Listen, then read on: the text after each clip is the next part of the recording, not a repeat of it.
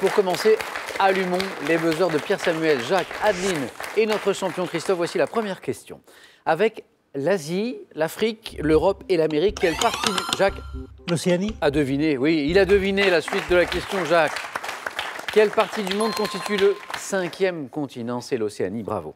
Quelle ancienne Miss France, ayant tenu le rôle titre dans la, Salman. dans la série télé Léa Parker est d'origine Sonia Roland. Oui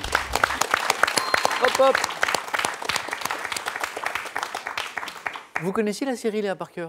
Euh, pas tellement. Ah bah si. Mais j'ai retenu le nom de. Ouais, ouais, bien joué. Et d'origine franco-rwandaise. C'était le dernier indice. Sonia, la magnifique et sympathique Sonia Roland. Bravo, euh, Jacques.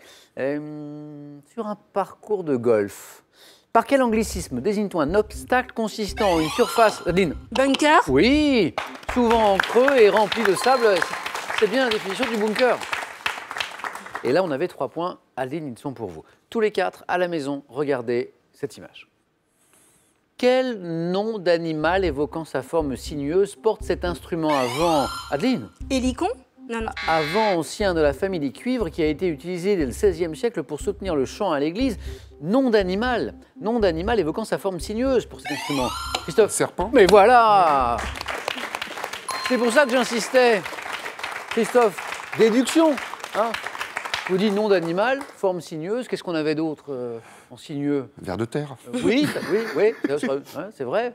Un point pour notre champion. En publicité maintenant, quel nom donne-t-on au client d'une agence, commanditaire d'une annonce ou bien d'une campagne? Comment on appelle le client, Adeline? Publicitaire? Non, le client. L'annonceur Voilà, joli. C'est l'annonceur. Bien joué. L'annonceur. Deux points pour Pierre Samuel. Chez l'homme, comment nomme-t-on les deux muscles triangulaires de la partie antérieure du thorax Donc, Pierre Samuel encore. Les pectoraux Oui, les pectoraux. Ah, je me redresse un peu là. Dont l'un est qualifié de grand et l'autre de petit, les muscles pectoraux, musculus pectoralis, s'il vous plaît, en latin.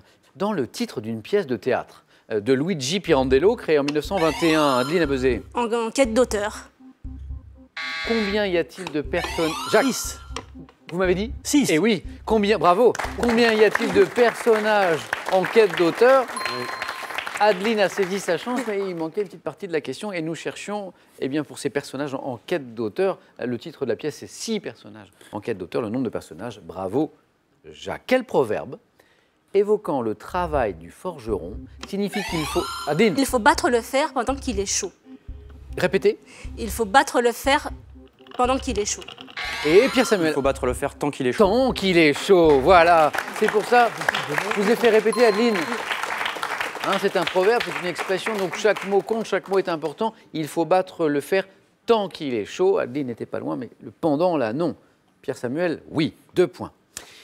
Lors de la présidentielle de 1969, quel candidat le Parti communiste a-t-il mis en parallèle avec Georges Pompidou par le slogan Bonnet blanc et blanc bonnet Duclos. non. Quel candidat le Parti communiste a-t-il mis en parallèle avec Georges Pompidou par le slogan bonnet blanc et blanc bonnet Donc c'est pas le candidat du PC, Christophe. Cha- Non, c'est Chaban, non, c'est pas lui. Non, c'est le candidat qui est mis en parallèle par le Parti communiste de l'époque avec Georges Pompidou. En gros, c'était le, le même candidat, quoi. C'est Pierre Samuel une idée? Georges Marchais. Non, Mitterrand c'est Alain Poher. Ah, Poher. Alain Poher qui, pour le Ah Parti oui. communiste de l'époque, eh bien, c'était bonnet blanc et blanc bonnet avec Georges Pompidou. Nous cherchions, bravo à ceux qui l'avaient, Alain Poher. Quelle plante maintenant Quelle plante est cultivée pour ses pousses ou turions qui se... Soja Le Soja Non. Et bataille de Jacques. L'asperge. L'asperge Le cri du cœur de Jacques, l'asperge C'est Turion, Jacques, hein, qui venait Oui, sur oui, la voie, oui. je, je l'ai vu. Tout à fait. Je l'ai vu, il y avait une bataille avec Adeline, là, qui l'avait asperge aussi peut-être, qui se teintent de violet lorsqu'elles sont cueillies juste après leur apparition au jour. Les asperges. Pierre Samuel, Jacques, Adeline, Christophe, dites-moi quelle ville des Ardennes créée au 10... Pierre Samuel Charleville-Mézières. Oui, exactement. Deux points, neuf points gagnants et une qualification de Pierre Samuel pour le 4 à la suite. Quelle ville des Ardennes, créée au XVIIe siècle, a été nommée en l'honneur de son fondateur Charles de Gonzague? Euh, On n'est pas vers chez vous, là, Pierre Samuel C'est ma ville de naissance. Pop, pop, pop, pop. Ah, Parfois, parfois, le hasard fait bien les choses. Et deux places encore à prendre, et on joue pour deux points à chaque bonne réponse à partir de cette question. D'abord, écoutez.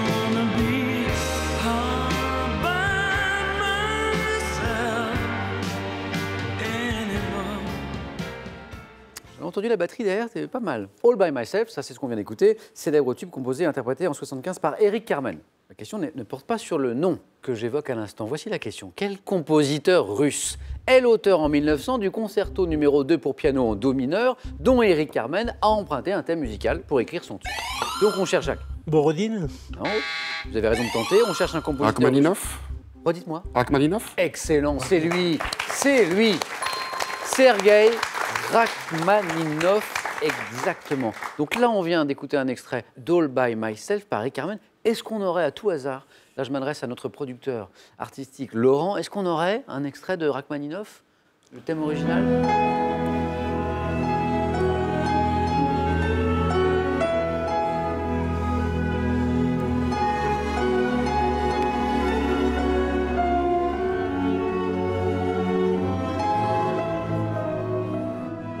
C'est magnifique. On retrouve, on retrouve bien l'inspiration, on retrouve la mélodie, c'est très très beau. Et bravo Christophe. Deux points ici pour vous.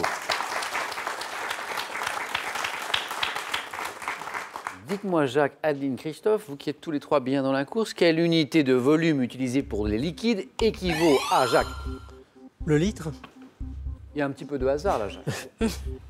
Un, déci- un décimètre cube Et, bravo, bravo, bravo, bravo. Jacques, il tente sa chance. Euh, J'ai juste été professeur de sciences physiques euh, dans des temps reculés, quoi. Voici la suite de la question. Équivaut à un décimètre cube, c'était le litre. Jacques, bravo, deux points. Jacques, qui n'est plus qu'à une bonne réponse de la qualification. Lorsqu'il s'approche d'une proie, quel céphalopode représenté par l'espèce Octopus vulgaris se- La pieuvre. Et la bonne réponse Ah, on lui l'a pas volée, Adeline, celle-ci. Change de couleur, change de couleur avant de se jeter sur elle. Elle, c'était la proie qu'on évoquait au début de la question. Pour ceux qui suivent bien, la pieuvre. J'acceptais le poulpe aussi. Deux points pour Adeline. Quel musée parisien? Ah, quel est ce musée parisien? Créé en 1882 qui expose de nombreux personnages. Jacques, Grévin? En cire, Grévin. Jacques, on y est 9 points gagnants. Allez, un 4 à la suite pour Jacques aussi dans un instant. Nombreux personnages en cire représentés, grandeur nature, c'est le musée Belle première manche, il ne me reste plus qu'une place. Pour le 4 à la suite, 3 points à chaque bonne réponse. Adeline, vous avez 5, Christophe 3 dans les années 1950. Quel architecte français d'origine suisse construisit, Adeline Le Corbusier. Excellente réponse, 3 points. Construisit la chapelle Notre-Dame du Haut-Arronchamp, c'est bien le Corbusier, contrairement à la myopie. De quel trouble, Adeline, L'astigmatie. De quel trouble de la vision est-on atteint La presbytie Et la bonne réponse. Ah, Christophe qui revient bien là. Est-on atteint quand on ne voit pas avec netteté les objets rapprochés? Voilà, ça c'est presbyte. Ça c'est myope, ça c'est presbyte. Bravo Christophe. Le prochain de vous deux qui me donne une bonne réponse rejoint les petits camarades au 4 à la suite. Nous sommes en 1993, c'est du sport. Quelle alpiniste française est devenue la pro... Adeline? D'Estival? Catherine Destivelle. C'est Adeline qui s'impose.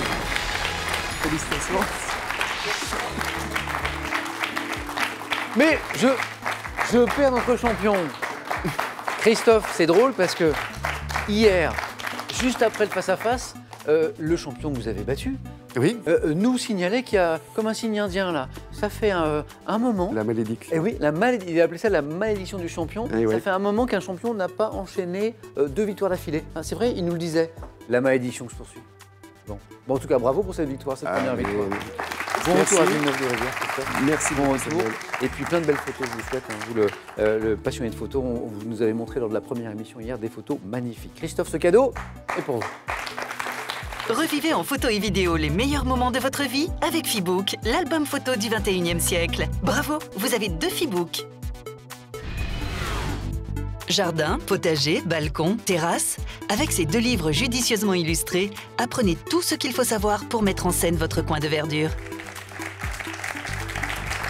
Juste avant le 4 à la suite, une nouvelle chance pour vous à la maison de gagner 12 000 euros. Pas mal quand même.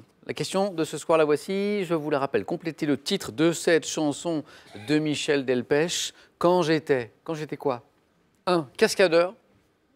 2. Chanteur. Bonne réponse 3243 pour le téléphone et par SMS. Si vous préférez, c'est simple, c'est 1 ou 2 que vous envoyez au 7 10 20 et tirage au sort parmi toutes les bonnes réponses pour 12 000 euros. Je vous le rappelle. Félicitations à Adeline, à Jacques, à Pierre Samuel. On joue tous ensemble au 4 à la suite.